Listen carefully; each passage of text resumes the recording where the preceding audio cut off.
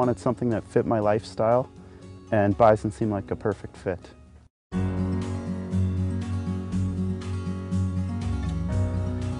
I was looking for something that where I could use my own ideas and use my own marketing strategies and, and build something for myself and for my future. We uh, had a dairy farm. I grew up with dairy.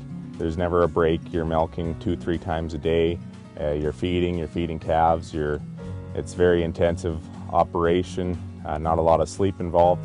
Uh, we were looking for something a little bit more relaxed. I went to college, I traveled, I tried other jobs and never expected to come back to the farm, but uh, ended up being the happiest there that I was anywhere. My dad's a teacher by profession who then became an x-ray tech and now we raise bison uh, on the side kind of things. He loved animals and always dreamed about having them and then eventually when he um, was married and had us he decided that like let's get into this do as a family farm kind of thing and the thing about bison that I find is a real advantage over cattle is you don't have to help them calving I don't need a big infrastructure um, I don't have barns I don't have all the equipment needed for a cattle operation this size. You don't have to take a, uh, a week off or a month off because they're calving. You can still go to work every day and come home and see that your animals are just doing fine. We feed uh, about once a month in the winter. We want to keep them happy, but uh, you don't have to be there for them to be happy. You just make sure there's some feed and water and they'll do just fine. Like it's very low maintenance, very low input cost compared to most farming ventures, I think. I can quite easily manage 400 bison cows and still take four months holidays in the year and work a full-time job. Mom and dad are, they like to go away in the winter and I'm able to stay home and take care of the animals by myself. It's allowed me to work off the farm and, and work on other jobs as well as uh, you know having being able to uh, take some time away different times in the summer and winter and not have to worry about um, being right there for feeding or milking or or something else. Of all like agricultural industries, I think it's one of the most accommodating to people who have family or outside jobs or want to still have a life but love agriculture. I know a lot of my neighbors work off the farm to support the farm.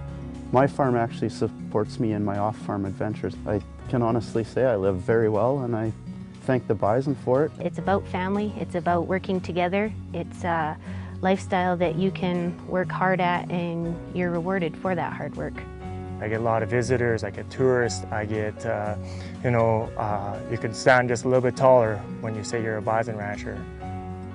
What do you know Canada for? Maple syrup, beavers, igloos, polar bears, and bison. It's kind of like one of those things, I don't know.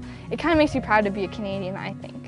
It's not difficult to get into the business at all. You have to just get out there and get a few animals, and they produce their own. You need someone a few people who can handle animals together a few times a year for weaning and separating animals.